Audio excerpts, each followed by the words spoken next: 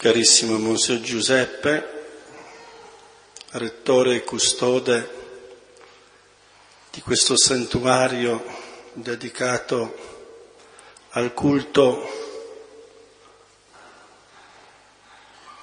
della Divina Misericordia e dell'Apostola della Divina Misericordia Santa Faustina Kowalska.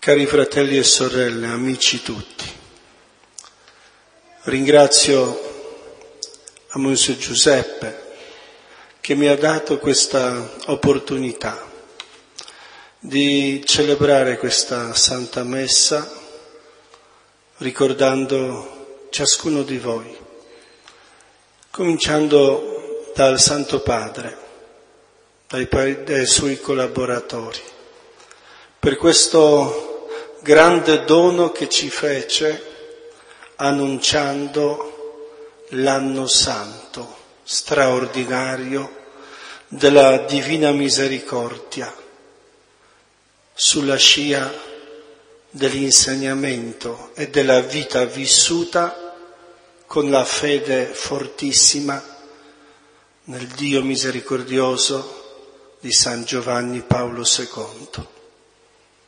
E anche oggi le letture ci ricordano dove dovrebbe essere fissato il nostro sguardo. Mosè fece mettere il serpente che doveva proteggere il popolo che lo ha seguito nel deserto il Signore ricorda questo evento a Nicodemo, a colui che credeva nel Gesù, ma aveva ancora un po' di timore per non essere magari incompreso o addirittura per non essere maltrattato. Allora venne di notte a parlare a domandare al Signore che cosa devo fare per avere la vita eterna. E il Signore ci dice bisogna avere la fede, perché così come Mosè innalzato il serpente nel deserto, così sarà innalzato il figlio dell'uomo. Gli parla praticamente del suo mistero salvifico di quello che gli accadrà, della sua morte e della risurrezione. E poi gli spiega che tutto questo dovrà avvenire perché l'amore di Dio è molto, molto, ma molto, è assai più grande del peccato, della debolezza dell'uomo. E questo amore di Dio spinse per l'uomo, lo spinse per mandare il suo unico figlio, perché chiunque creda abbia la vita e l'abbia in abbondanza. E San Paolo, scrivendo agli Efesini, gli dice, cari fratelli, Dio ricco di misericordia, per il grande amore con il quale ci ha amato, da morti che eravamo per le colpe, ci ha fatto rivivere con Cristo, per grazia siete salvati.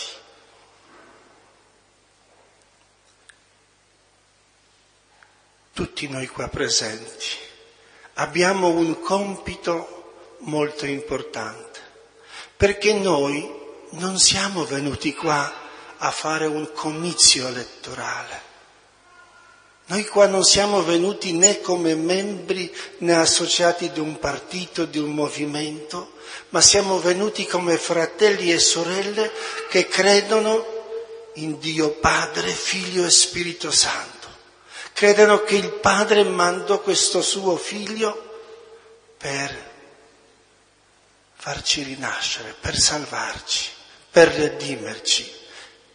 E al di fuori di lui non c'è la salvezza. Questo l'hanno capito nel corso della storia della Chiesa i beati e i santi. E noi siamo chiamati alla santità per mezzo del nostro battesimo. E noi, essendo chiamati alla santità, dobbiamo cercare di diventare sempre più la terra santa.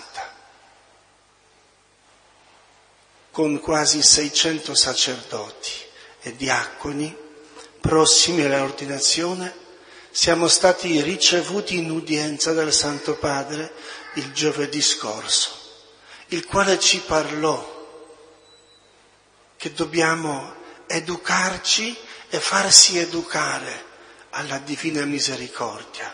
E non dobbiamo scandalizzarci di nessun peccato, ma non nel senso che non ci deve importare di niente, di passare sopra, ma qualora uno veramente piange e si sente pentito e chiede il perdono, diventa per un sacerdote confessore la terra santa, perché ci ha ricordato Santo Padre chi ha fatto, chi è caduto, chi ha sbagliato, chi ha finito nel carcere. Ci dovrebbe far riflettere. Se io non sono andato in galera, se io non ho fatto questo o l'altro peccato, un tale o l'altro delitto, non è per merito mio, perché sono così bravo, così innocente, ma per la grazia di Dio. Si vede che il Signore ci ha dato una marcia in più, un quid in più, però a chi ha dato di più chiede di più. E noi attingiamo dalla sua parola dal pane eucaristico questa forza per andare avanti, per essere sempre di più nel nostro quotidiano l'apostoli della divina misericordia. E ogni volta quindi che recitiamo il Padre nostro, ricordiamocelo sempre e rimetterci i nostri peccati, come noi lo rimettiamo ai nostri debitori. Chi ama Gesù, misericordioso, chi ha incontrato il Signore nella sua vita, chi ha sperimentato la grandezza della sua misericordia, del suo perdono, non può non essere misericordioso, non può non essere figlio della luce, non può non essere felice nel fare le opere di carità, di misericordia, le opere di carità sia verso l'anima che verso il corpo. Siamo cari fratelli e sorelle sulla stessa barca. Ne ho condiviso un pensiero con Monsignor Giuseppe prima dell'Eucaristia, che ogni fedele che si accosta al sacramento della penitenza, che chiede il perdono, che bussa la misericordia, ogni fedele riconciliato per il nostro ministero, che talvolta possiamo essere peggio degli altri, ma il Signore ci ha fatto questa chiamata, si è fidato e ci ha chiesto di essere strumenti della sua misericordia. Ogni fedele è veramente una terra sacra, è una gioia, è un senso del nostro impegno ancora di più. E concludo per non annoiarvi.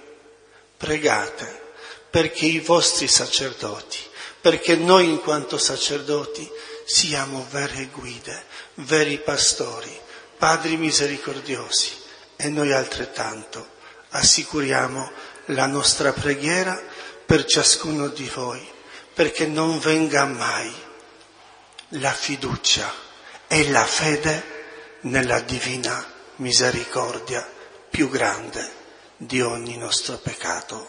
Amen.